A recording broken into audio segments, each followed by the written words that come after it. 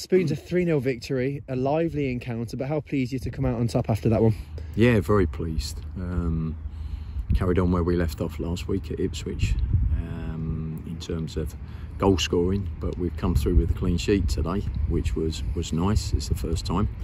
Um, but I, I just, the, the whole game, I thought we was competitive in every element, in every department. I thought that the players were on the front foot. Um, all right, we had a slow start. They could have been, you know, possibly a goal up inside the first five minutes. Um, but Brad made a, a fantastic save.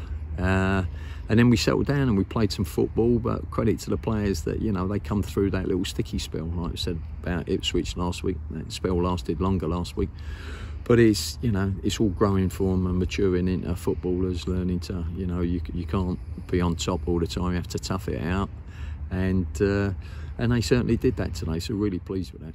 Yeah, real togetherness. Was that the most pleasing aspect of it when they had to stick together? Like you say, a few challenges have gone flying in and the referee trying to keep a lid on it at times, but there's a collective unity about them That's today. it. I think that's the word now, collective. There's a real collective in there at the moment, and uh, you know, it's stuff we've worked on. Um, but sometimes that, that just comes from players getting on with one another and, and being part of the team. And uh, you know, there was a, a, little altercation between a couple of players today, and, and they all got round and defended one another, and that, and you need that. You know, there was a it was a feisty game at times, and uh, you know we played our part in that, and that hasn't always been the case. You know, pre-season where we we said to them, you know, we lack that competitive edge.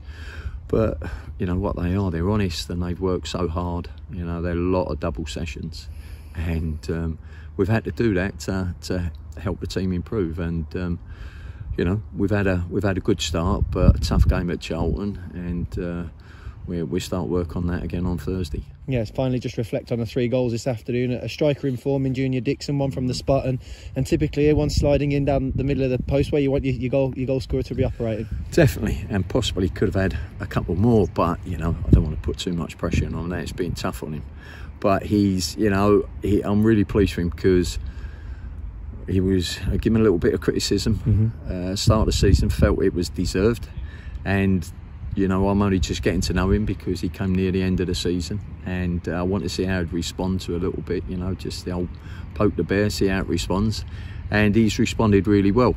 You know, he's uh, said he's been doing extras and that. He's lost weight. He looks sharper. Just his old demeanour is different, and uh, yeah, I've been really, really pleased with him. He is a goal scorer. You put the ball in the box, and he'll try and get on the end of it. And Tommy Fogarty amongst the goals as well. Big old centre half goes and plants a, a, header from a corner, which is what you want to see. Yeah, yeah, we've been on about scoring from set plays and making sure we don't sc- concede from set plays. So uh, we've done both today. So really, really pleased. Really pleased with them. And Brad, you know, made one or two great saves, double saves. Uh, and uh, we've got a clean sheet and we managed to get everyone on the pitch, which was, was nice. Good day's work. Well done, Spoons. Cheers, Dale. Thanks a lot.